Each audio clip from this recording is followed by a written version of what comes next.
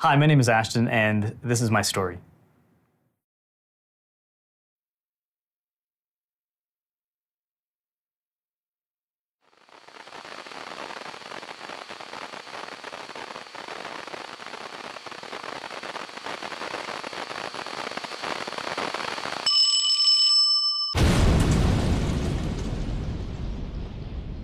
I get a call at work.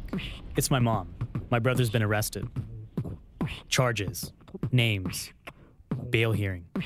I was working in a youth shelter, listening to the stories of young people fleeing the shadows of their lives, many of whom were women, tormented and abused.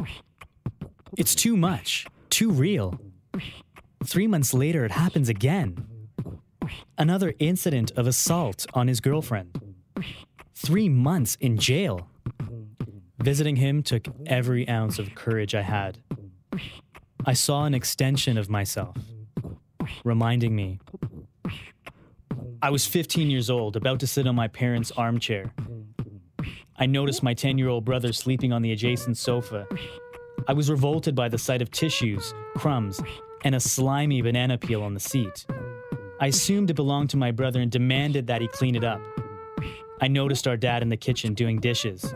I continued yelling at him. I took the banana peel and shoved it down his pants, intending to ignite a fire of rage.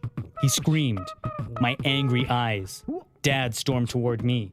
I stormed toward him, ready to engage in combat. A moment of blackness. I felt punched. I'm wet. A glass on the floor. Face to face with Dad. A soundless room, I saw my brother's tears. Mom yelling in desperation, Stop this! And my grandfather, silent on the stairs. I realize only now how my own traumas reflected in my brother's eyes, and that he was the one holding all of my pain. Three generations of violence locked inside our identity. Now, awake to the clarity that my brother and I needed to change our lives, as our father had done for us.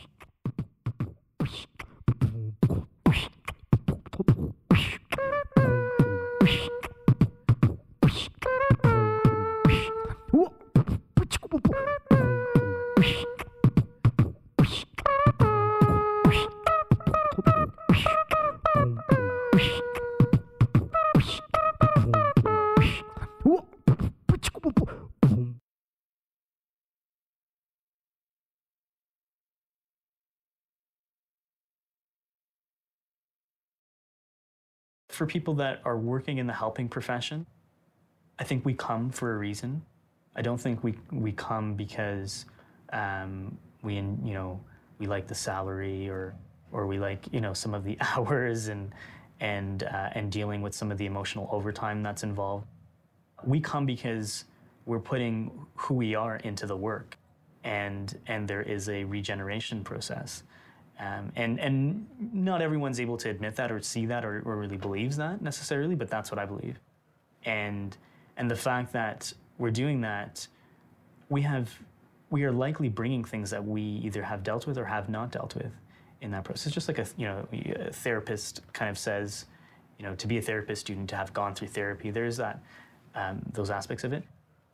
But it's not just just knowing what your issues are. I think it's not just knowing what you know that yeah I experienced violence in my life. It's being able to um, walk with them and be able to stand in in your in in your history and and know it, acknowledge it, let go of it, and and and write you know what the next steps are for yourself in a way that is is congruent with with who I am, and, and so um, that's kind of a, a huge takeaway for me in in doing this that um, I like to write, and I think the most important story that I can write is is this mine, right? And and uh, and I have that power, and I think that's a pretty amazing thing.